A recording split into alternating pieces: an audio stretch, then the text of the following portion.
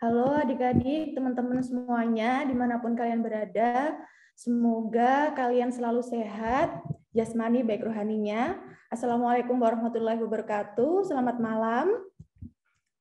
Baik, di sini saya Dr. Gigi Septiana yang akan eh, membantu kalian memahami lebih jelas mengenai lesi pigmentasi eksogen dan endogen.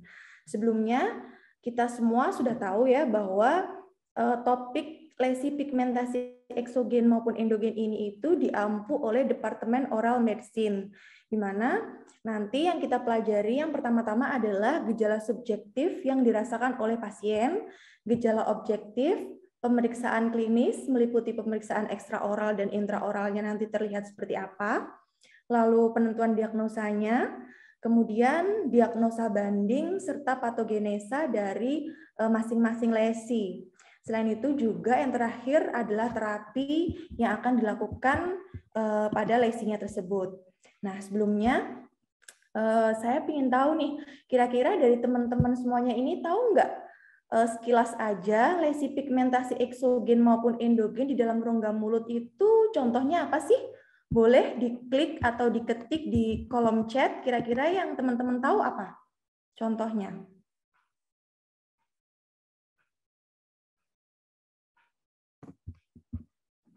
Pasti nih kalian udah tahu kira-kira uh, warna kehitaman atau warna kecoklatan di rongga mulut itu apa sih kira-kira? Ayo, boleh diketik di kolom chat. Iya benar, makula melanotik, melanosis. Selain itu apa lagi kira-kira? Vokal melanotic pigmentation, epelis, benar. Oke, jadi eh, kira-kira udah paham ya kira-kira kayak oh itu itu itu merupakan lesi pigmentasi yang warnanya itu eh, berbeda sendiri kan warna gingiva itu coral pink, warna warna mukosa itu lebih ke warna pink, warna merah gitu. Kalau dia warna hitam atau warna coklat, warna abu-abu berarti itu terdapat suatu lesi pigmentasi di sana. Oke. Oke, selanjutnya sebelum kita masuk ke masing-masing penjelasan dari lesinya, ini saya bahas tentang overview dulu pigmentasi endogen yang akan kita bahas meliputi yang pertama vokal melanocytic pigmentation. Yang dinamakan vokal itu berarti kira-kira nanti lesinya itu soliter, Dek. Jadi lesinya itu bulat di daerah itu gitu. Contohnya adalah freckles atau nama lainnya adalah epilis. Selain itu, makula melanotik, nefus melanositik, atau yang biasa kita sebut nefus pigmentosus. Selanjutnya adalah yang berbau keganasan, yaitu melanoma maligna. Itu tadi dia yang vokal ya, yang sifatnya itu biasanya itu soliter atau berada pada satu tempat. Nah, kemudian yang sifatnya itu multivokal atau banyak atau dia diffuse, nggak jelas warnanya, warnanya keabu-abuan, batasnya nggak jelas gitu. Contohnya adalah physiologic pigmentation atau biasa yang kita lihat di pasien itu kayak hiperpigmentasi gingiva. Jadi gingivanya warnanya kehitaman atau drug induced melanosis yang karena obat. Kemudian smokers melanosis biasanya pada perokok, lalu post inflammatory hyperpigmentation dan melasma. Selanjutnya nih yang berhubungan dengan sistemik atau associated with systemic or genetic yaitu Addison's disease, Cushing syndrome atau Cushing's disease, Graves disease, Peutz-Jeghers syndrome maupun cafe-au-lait pigmentation. Selanjutnya yang idiopathic pigmentation yang penyebabnya sampai sekarang masih belum jelas dibahas oleh para peneliti, yaitu Laugier-Hanziker pigmentation.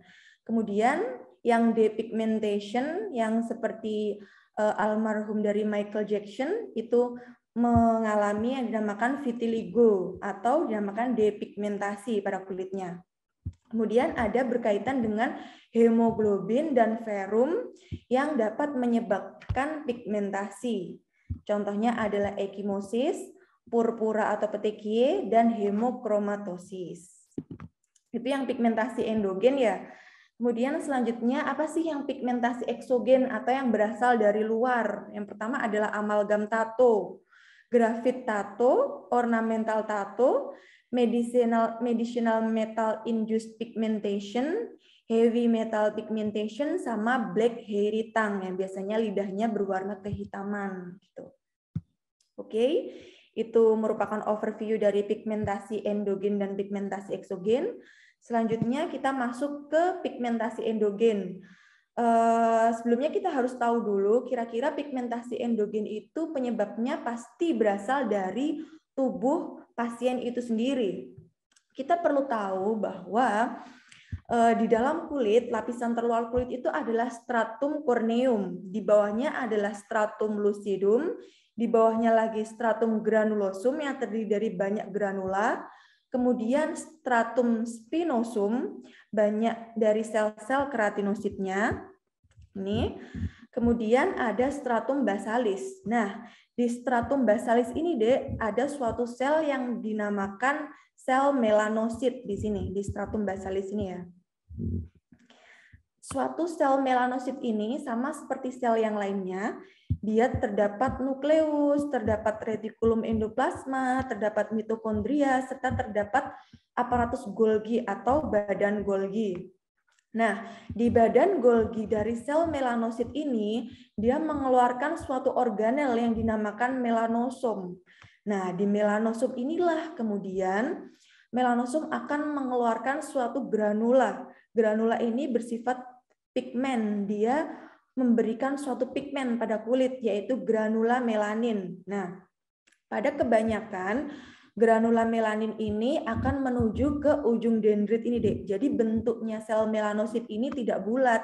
Dia ada tangan-tangan dendrit kayak gini, kayak melekuk-lekuk gini. Fungsinya adalah menyalurkan sel menyalurkan pigmen melanin atau vakula melanin dari dalam sel menuju ke permukaan sel melalui tangan-tangan dendrit ini.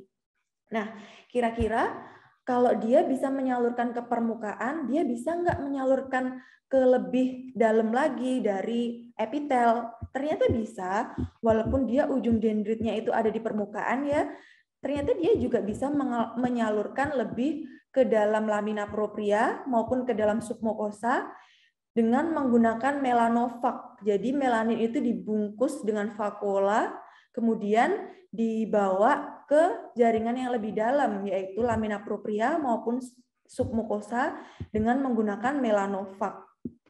Nah, terus kira-kira kelebihan produksi melanin ini itu terkait dengan apa? Jadi gini, eh, produksi pigmen melanin di dalam tubuh itu sangat dipengaruhi oleh paparan sinar matahari.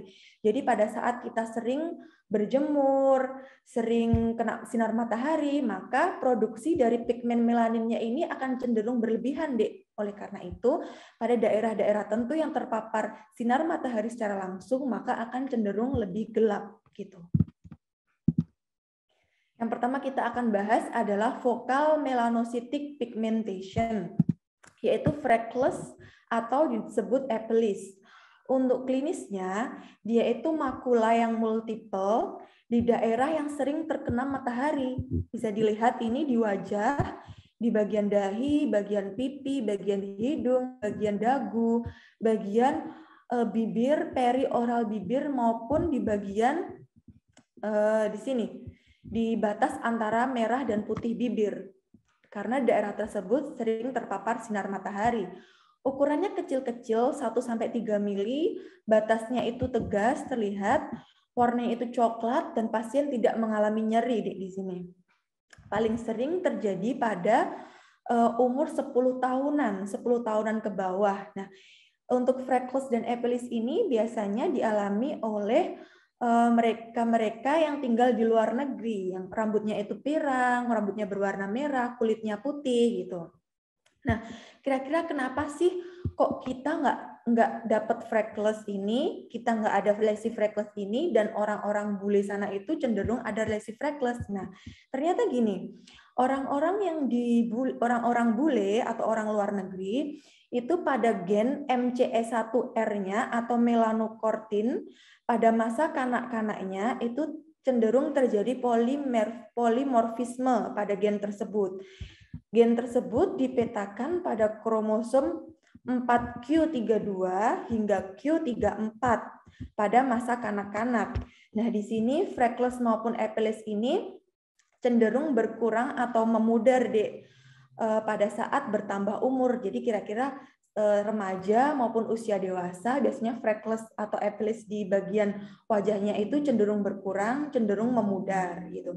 Secara umum tidak diperlukan intervensi terapeutik atau uh, mungkin pada saat remaja atau dewasa dia nggak memudar-mudar nih mengganggu estetik dari pasien bisa tuh dilakukan cryosurgery atau nanti sel dari melanositnya dibekukan sehingga dia tidak mampu untuk mengeluarkan atau menghasilkan pigmen melanin atau selain itu di peeling biasa kan ya kita biasa perawatan facial atau kosmetik itu dengan menggunakan peeling itu juga bisa atau bisa dengan menggunakan laser gitu. Itu yang freckles atau epilis ya.